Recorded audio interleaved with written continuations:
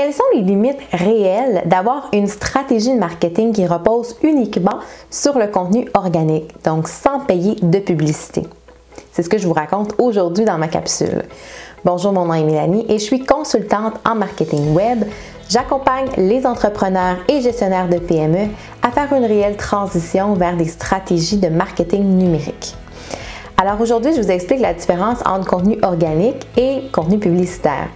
Donc, par opposition, effectivement, le contenu organique, c'est du contenu pour lequel vous ne payez pas, dans le fond, pour sa diffusion.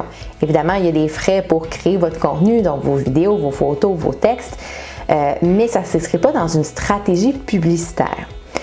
Ce que je propose à mes clients, c'est toujours de combiner les deux stratégies. Pourquoi? Parce que effectivement, le contenu organique va fonctionner.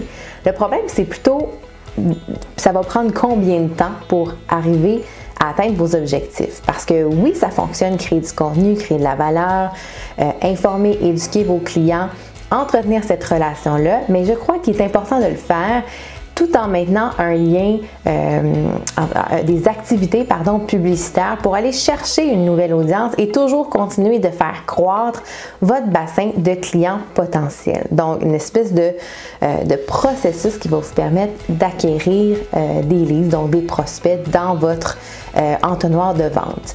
Alors pour moi, c'est, disons, la combinaison gagnante va être d'avoir, oui, du contenu organique, donc d'avoir peut-être un blog, des vidéos, des photos, de créer vraiment du contenu de façon euh, récurrente, du contenu de qualité sur lequel vous allez vraiment investir euh, du temps et également de combiner à ça une stratégie publicitaire qui soit cohérente. Euh, donc, que ce soit de la publicité Facebook, de la publicité sur Google, donc les fameux Google Ads, donc, c'est important, selon moi, d'investir lorsqu'on veut atteindre nos objectifs plus rapidement. Parce que oui, on va se rendre à bon port avec une stratégie 100% organique, mais la question c'est en combien de temps? Et si vous êtes comme moi, bien, vous avez envie euh, de faire croître votre entreprise et euh, qu'elle prenne de l'expansion.